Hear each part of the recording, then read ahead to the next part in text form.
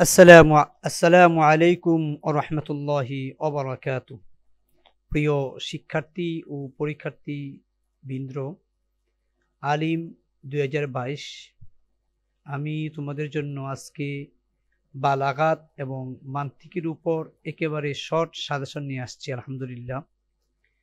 তোমরা জানো যে বালাগাত এবং মান্তিক এই দুটি মিলে আমাদের পঞ্চাশ মার্কের পরীক্ষা হবে। এখানে বালাগাতের জন্য ৩০ নাম্বার এবং মান্তিকের জন্য ২০ নাম্বার। তো বালাগাত থেকে তিনটি প্রশ্নের উত্তর দিতে হবে। দশ করে নাম্বার ৩০ আর মান্তিক থেকে উত্তর দিতে হবে দুটি। এখানে নাম্বার হলো দশ করে ২০ নাম্বার। আমরা বালাগাত থেকে এখানে আমি পাঁচটা প্রশ্ন নিয়ে আসছি। আশা করি ইনশাল্লাহ এই পাঁচটা প্রশ্ন থেকেই আমাদের পরীক্ষায় কমন পড়ে যাবে ইনশাল্লাহ এই পাঁচটা প্রশ্ন থেকে আবার খুব বেশি কমন হতে পারে এক নাম্বার প্রশ্ন এবং তিন নাম্বার প্রশ্ন এবং পাঁচ নাম্বার প্রশ্ন। এক নাম্বার প্রশ্ন, তিন নাম্বার প্রশ্ন এবং পাঁচ নাম্বার প্রশ্ন। এই তিনটা প্রশ্ন যারা দুর্বল ছাত্র তোমরা সর্বনিম্ন এই তিনটা প্রশ্ন পড়লেও অবশ্যই ভালো করে পড়ে যাবে ইনশাল্লাহ এক নম্বর প্রশ্ন কি? আল বালাগতু মাহিয়া। বালাগাত কাকে বলে? লুগাতান বা ইস্তেলাহান। শাব্দিক ও পারিভাষিকভাবে বালাগাতের পরিচয় দিতে হবে।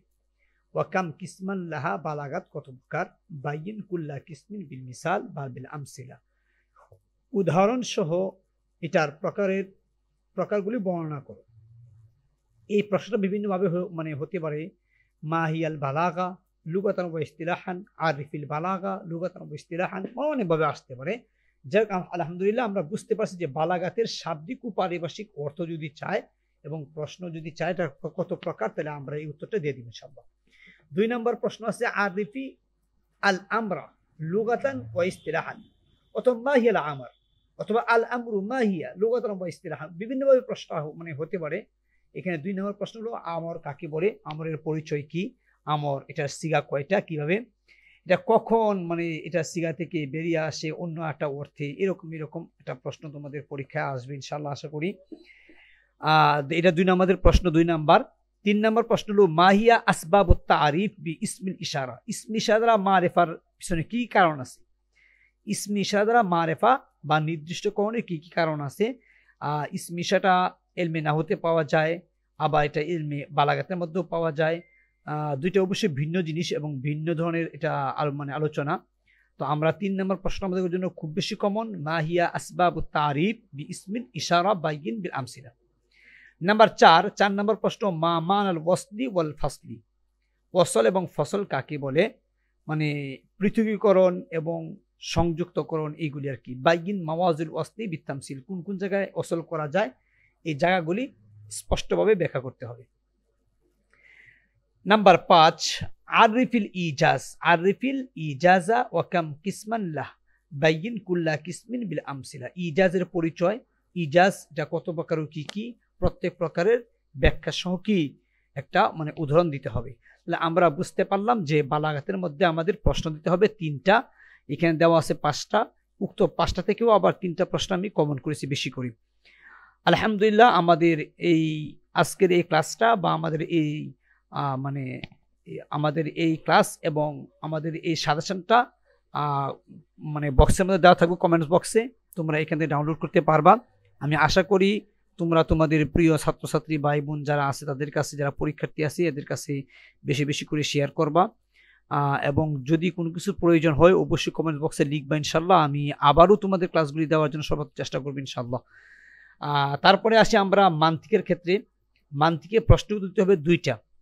দুইটা প্রশ্ন উত্তর, নাম্বার দোষ এক নম্বর প্রশ্ন, আরিফিল এলমা বাইন আকসামাহু বিতাফসিল অত্তামসিল মানে বিশদভাবে ব্যাখ্যা করতে হবে, উদাহরণ দিতে হবে কার? এলএম এর পরিচয় দিয়ে। এখানে আমরা শাব্দিক পরিচয় দেব, পারিভাষিক পরিচয় দেব, অন্যান্য পরিচয় আমরা দেব এবং এটার প্রকারগুলি বর্ণনা করব। নাম্বার দুই আদালালাতু আল্লাবজিয়া মাহিয়া ওয়াকাম কিসমান লাহা বাইগিন মুফাসালান ও মুমাসালান দালালাতু লফজিয়া কাকে বলে? দালালাতু লফজিয়া কাকে বলে?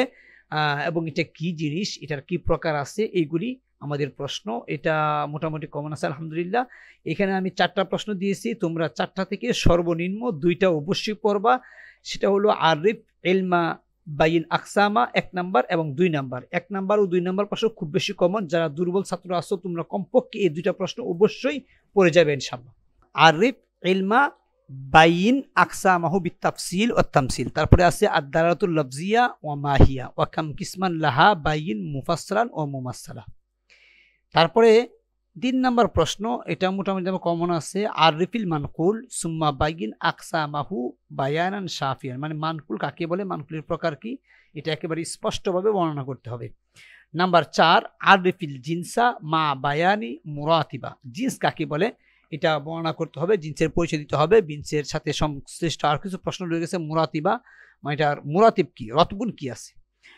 এটাও মানে উদাহরণসহ উল্লেখ করতে হবে।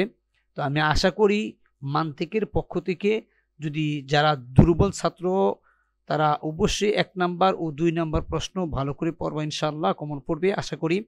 আর যদি চারটা পড়ে নিতে পারো, আশা করি ইনশাল্লাহ কোনো প্রকার সন্দেহ, সংশয় থাকবে না। আশা করি ইনশাল্লাহ কমন পড়বে। আল্লাহ তালা আমাদের সবাইকে ভালোভাবে মানে শাসনগুলি বোঝার, পড়ার তৌফিক দান করুন। ভালো একটা ফলাফল করার তৌফিক দান করুন, আলহামদুলিল্লাহ। আজ এই পর্যন্তই। আসসালামু আলাইকুম রহমতুল্লাহি আবরাকাতু